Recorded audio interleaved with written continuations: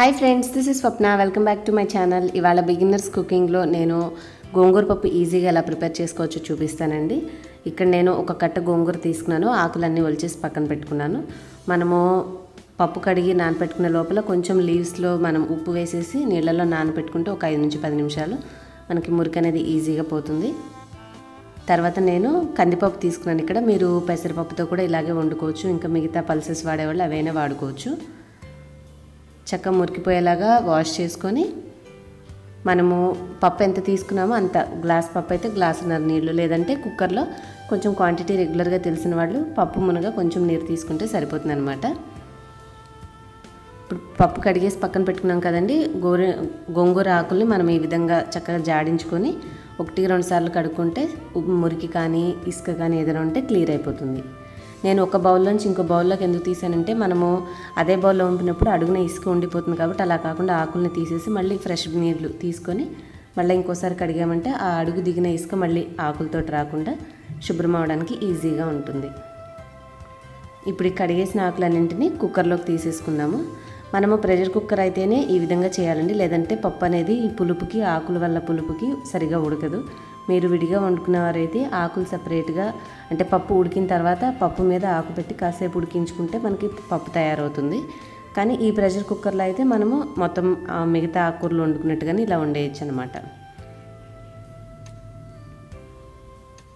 ఇప్పుడు నేను ఒక ఉల్లిపాయ తీసుకొని సగం ఉల్లిపాయ పప్పులో యాడ్ చేస్తాను. అంటే ఆకుల మీద పెట్టుకుంటాను. సగం ఉల్లిపాయ మనం తాలింపు కోసం సపరేట్గా పక్కన పెట్టుకోవాలి. ఇవి కొంచెం కారం తక్కువ ఉన్న పచ్చిమిర్చి అండి. అందుకే నేను మూడు నుంచి నాలుగు తీసుకున్నాను. మీరు పచ్చిమిర్చి ఘాటు అయితే రెండు అయితే సరిపోతుంది.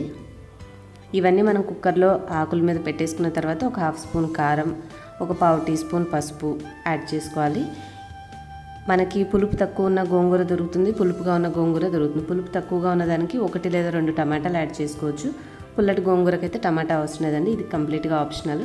మనం తీ మనకి దొరికే ఆకు తీరుని బట్టి మనము యాడ్ చేసుకోవడం చేసుకోవడం అనేది డిసైడ్ చేసుకోవచ్చు.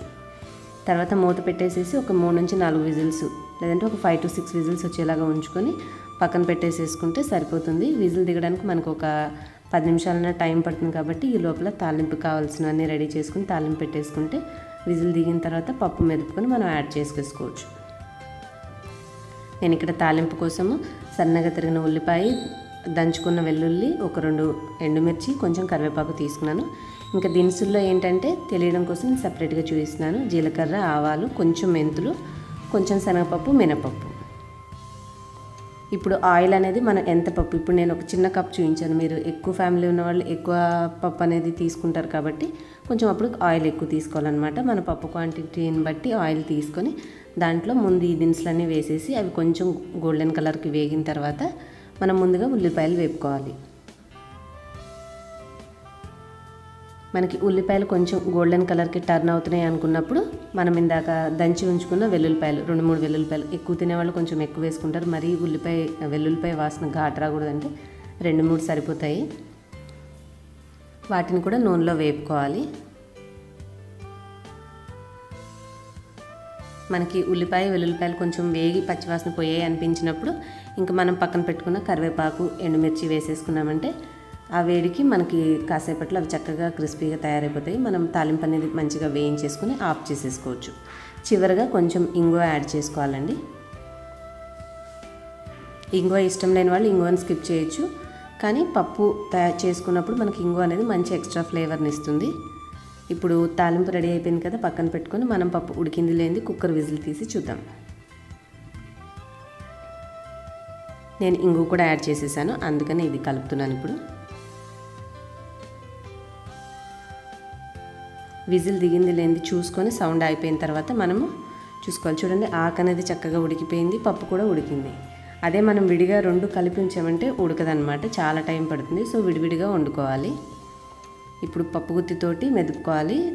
పప్పు ఎంత ఉందో చూసుకొని దానికి సరిపడా ఉప్పు వేసుకున్నాక మనం పప్పు గుత్తితో పప్పు అంతా చక్కగా కలిసేలాగా మెదుపుకోవాలి.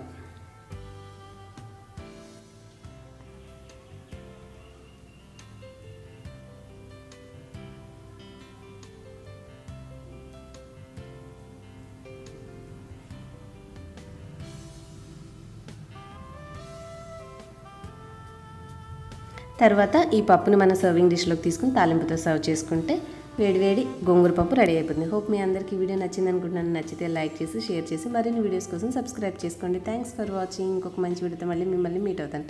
Chill then bye bye